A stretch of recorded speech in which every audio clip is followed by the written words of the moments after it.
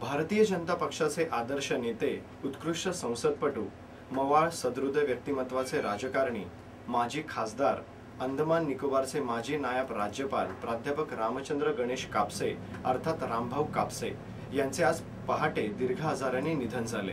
ते त्र्याऐंशी वर्षाचे होते. त्यांच्यावर आधारवाडी स्मशानभूमीत शासकीय इतमामात अंत्यसंस्कार करण्यात आले. महाराष्ट्राचे मुख्यमंत्री देवेंद्र फडणवीस यांनी कापसे यांच्या निवासस्थानी जाऊन त्यांना भावपूर्ण श्रद्धांजली वाहिली. त्यांच्या समवेत रावसाहेब दानवे शिक्षण मंत्री विनोद तावडे पालकमंत्री एकनाथ शिंदे तसेच राष्ट्रवादी काँग्रेसचे प्रमोद हिंदूराव मनसेचे काका मांडले शिवसेनेचे विजय साळवी माजी मंत्री जगन्नाथ पाटील आमदार नरेंद्र पवार रवींद्र चव्हाण खासदार कपिल पाटील आमदार गणपत गायकवाड काँग्रेसचे विजय पंडित यांच्यासह विविध पक्षाचे कार्यकर्ते उपस्थित होते. कापसे यांना एकवीस बंदुकीची सलामी देऊन शोकधून वाजवून आदरांजली वाहण्यात आली. गेल्या चार पाच वर्षापासून ते आजारीच होते. तेव्हापासून त्यांना राजकारणाशी प्रत्यक्ष संपर्क तुटला असला तरी केंद्रीय पातळीवरील नेत्यांशी त्यांचे राजकीय व मैत्रीचे संबंध कायम होते. तीन महिन्यापूर्वीच लोकसभेच्या सभापती सुमित्रा महाजन यांनी त्यांच्या कल्याणातील निवासस्थानी भेट देऊन प्रकृतीची चौकशी केली. त्यावेळीही त्यांनी चालू राजकीय घडामोडी पंतप्रधान नरेंद्र मोदी यांची कार्यपद्धती याविषयी चर्चा केल्याचे समजते. राम कापसे यांनी लोकप्रतिनिधित्वाचा आदर्श निर्माण केला. ठाणे जिल्ह्यातील जव्हार विक्रमगड येथे त्यांचे शिक्षण झाले. रुपारेल महाविद्यालयातून मराठीचे विभाग प्रमुख म्हणून ते निवृत्त झाले. त्यांनी न्यायमूर्ती लेंटिन आयोग व भारतीय साहित्य शास्त्र या विषयावर अभ्यासपूर्ण लेखन केले. एकोणीसशे बासष्ट ते एकोणीसशे चौऱ्याहत्तर पर्यंत तत्कालीन कल्याण नगरपालिकेत ते गटनेते होते. यानंतर कल्याण डोंबिवली विधानसभा मतदारसंघाचे आमदार सिडकोचे अध्यक्ष भारतीय जनता पार्टीचे विधानसभेचे गटनेते तत्कालीन ठाणे लोकसभा मतदारसंघाचे खासदार राज्यसभेचे सदस्य म्हणून त्यांनी काम करतानाच संसद समिती अन्न नागरी पुरवठा ग्राहक संरक्षण समितीचे अध्यक्ष रेल्वे सुरक्षा समितीचे अध्यक्ष याचबरोबर एकोणीसशे अठ्ठ्याण्णवपासून ब्युरो ऑफ पार्लिमेंटरी स्टडीचे मानद सल्लागार देखील होते. मतदारसंघाला न्याय मिळवून देणारा लोकप्रतिनिधी म्हणून त्यांच्याबद्दल सर्वच पक्षात आदर होता. कर्जत कसारा ठाणे येथील नागरिकांचा उपनगरी प्रवास त्यांच्या अडचणी यावर लक्ष केंद्रित करून राम नाईक हे रेल्वे मंत्री असताना त्यांनी अनेक प्रश्नांची सोडवणूक केली. फलाटावर शेड तिकिटांच्या खिडक्या इंडिकेटरपासून पादचारी पूल स्थानकावरील वाहतूक लांब पल्ल्याच्या गाड्यांवर उपनगरी थांबे देणे वगैरे अनेक प्रश्न त्यांनी मार्गी लावले. ठाणे जिल्ह्यात शहरे राहत्या जागांवर मोठ्या किमती मोजाव्या लागतात.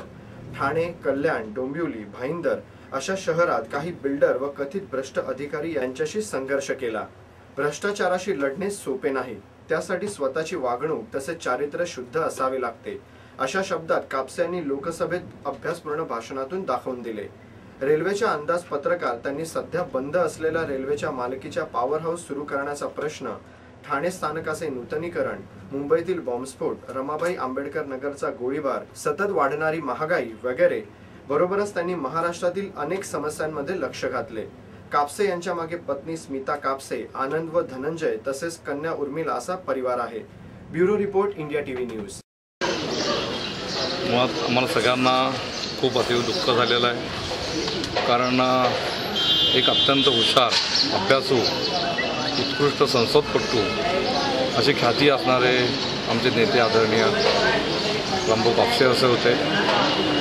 आज अ, ज्यातून निघून गेल्यामुळे एक आम्हा भाजपचा जो पाया ज्यांनी रचला ज्यांनी नगरसेवकापासून आमदार खासदार नंतर अंदमान निकोबारचे नायब राज्यपाल म्हणून ज्यांनी काम पाहिलं असे आदरणीय शंभू कापसे गेल्यामुळे निश्चित आम्हाला सगळ्यांना ते दुःख झालेलं आहे.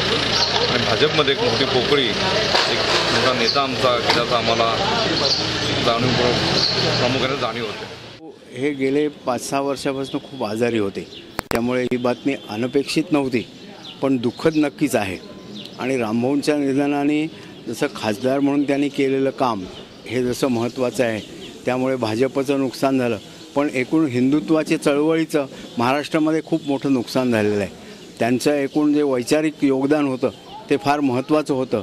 आणि त्या दृष्टीने बघितलं तर हिंदुत्वाच्या चळवळीचं महाराष्ट्रात थोडं नुकसान झालेलं आहे असं म्हणायला लागेल. राजीव जोशी. मी सरांचा विद्यार्थी होतो. आणि विद्यार्थी असताना सरांनी मराठी साहित्यशास्त्र जे शिकवायचे. आणि मराठी शिकवताना विद्यार्थ्यांना गोडी कशी लागावी हा सरांचा खूप उद्देश होता. त्यांना विधिमंडळाच्या कामात वेळ मिळायचा नाही पण ते विद्यार्थ्यांच्या ओढीसाठी यायचे. हा एक माझं खूप चांगली आठवण आहे सरांबद्दलची. आणि तीच कायम आठवण सर म्हणून मला माझ्या मनात आहे. मी भारतीय मजदूर संघाचा कार्यकर्ता होतो. आणि रामभाऊ कापसांना मी एकोणीसशे बासष्टपासून ओळखतो. ते जनसंघाचा जसा दिवा मालवला तसं आज रामोहनच्यामुळे हा एक भाजपचं एक नुकसान झालं तसं भारतीय मजदूर संघाचं पण नुकसान झालं. आम्ही पोरके झालो होतो आज. सर्वात महत्त्वाचं की ते अतिशय उत्कृष्ट असे संसदपटू होते. आणि लोकप्रतिनिधींनी कसं काम केलं पाहिजे?